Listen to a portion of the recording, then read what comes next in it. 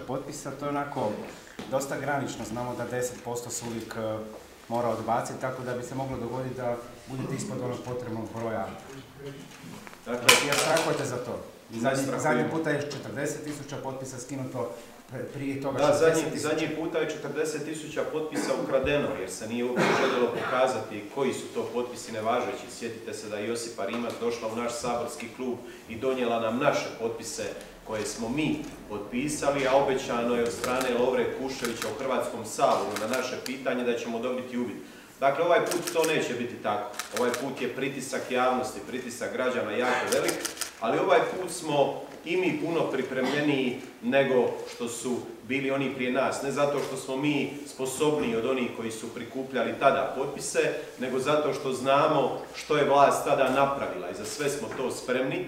I kada predamo potpise nakon ove analize i e, nakon ovog postupka koji je pred nama, mi ćemo predati pravovaljane potpise. Dakle, tu neće biti nikakve dvojbe. Dakle, danas ja ponovno ponavljam ovo što su rekli oni koji su govorili prije mene. Znači, želim poručiti našim volonterima, svim građanima Republike Hrvatske koji nas podržavaju da mogu mirno proslaviti Božić, mi referendum imamo, a ako kojim slučajem nekakvim makinacijama oni budu nastojali taj referendum zaustaviti ovi na vlasti, ovaj, ja im to nikako ne bih preporučio. Dakle, očito se premijer pogubio dakle pa zaziva da ne znam mi negdje istresamo te potpise kamionom, dakle mi to nećemo, nećemo činiti, to su neki drugi mu istresali pred Markovim trgom različite stvari, mi, mi smo ozbiljna i konstruktivna opozicija ovoj vlasti i mi ćemo na pravi način kroz institucije, ako već oni ne poštuju te institucije, mi želimo vratiti i povjerenje u te institucije, ali uz pravi nadzor onoga što će se raditi uz neovisni, ali uz naš nadzor nad cijelokupnim s obzirom, s obzirom na sumnje koje postoje kod vas da bi bili možda pokradeni, da li ćete tražiti promatrače na neki način da nadzirate taj proces prebrojanja? Dakle, mi ćemo u ovim danima koji su pred nama, znači prvo napraviti sve što trebamo napraviti oko potpisa, a onda ćemo naravno i predložiti način na koji smatramo da bi te potpise trebalo prebrojati.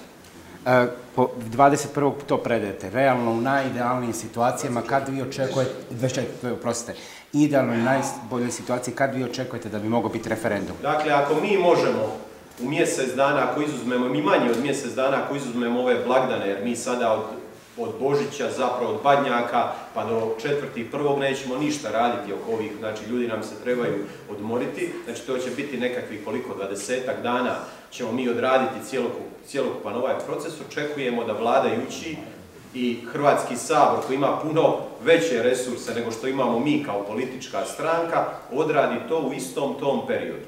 Dakle, u istom periodu u kojem smo mi odradili prebrojavanje potpisa, da oni odrade taj postup. Znači, ožujak negdje bi bio realno najraniji mogući termin? Pa, moglo bi biti prije. Dakle, ne ožujak, nego veljača. Tako, ako je 24.1. znači mjesec dana, to je, to je veljača. Da. Sabor ima mogućnost da oni sami razmatraju i odbiju referendumska pitanja ili da pošalju na Ustavni sud. Što mislite šta će vladajući napraviti? neće to napraviti. Pa vidjeli ste, na Ustavni sud. Vidjeli ste, vidjeli ste kolika je nervoza kod premijera, Dakle, to pokazuje samo koliko se boje, nažalost, naroda, a ne bi se trebali bojati naroda, nego bi s narodom trebali razgovarati, narod bi trebali pitati, ne samo svake četiri godine kad su izbori, ali ova vlast, ali sve dosadašnje vlasti imaju ogroman strah od referenduma, dakle ovaj prag koji je postavljen, dakle nama je određeno da u Hrvatskoj ima 3,68 milijuna birača s prebivalištem u Republici Hrvatskoj. I vi i mi znamo da u Hrvatskoj nema vrlo vjerojatno ni toliko stanovnika. I prikupiti to u ovako kratkom vremenu mogli ste čuti što kaže sindikalist Stipić, kaže da bi bio sretan da Most prikupi potpise jer bi time svi njegovi postulati, sve što je mislio o referendumu palo u vodu da se u zimskim mjesecima uz ovakve kriterije i uvjete ne može uspjeti i uz to sa dva referendumska pitanja jer je puno teže prikupljati kada imate dva referendumska pitanja, a ne jedno referendumsko pitanje. Tako da evo, mi smo danas sretni i, i radosni, pozivamo građane da ovaj, evo se odmore i sve naše volontere za Božić, a neki će možda imati i nemiran Božić, ali ovaj, oni su sami za to odgovorni. Mogli su narod pitati i prije, pa ne bi došli u ovakvu Ajmo situaciju. samo još nešto uprave APIS, tko će već e, to raditi. E, Kaže, ne znam, još je 10-20 tisuća potpisa nevažećih. Dakle, Dakle, potpuno nepovjerenje u instituciju da Ne, ona može reći ne, ne, ne, ne, ne, ne, ne, ne, možete vi reći zato što ste na knap, zato pitam. Nismo na knap, ne, nismo, nismo na knap, dakle nekoliko desetaka tisuća smo iznad praga koji nam je određen, to nije na knap. Dakle, 400 tisuća, Da, ok, 400. ali nekako je realno da 10% tih potpisa može biti nevažećih. ovako, dakle, ovako, e, mi ćemo predati pravovaljane potpise, a za svaki potpis kojeg oni proglase nevažećim će morati dokazati zašto je taj potpis nevažeći.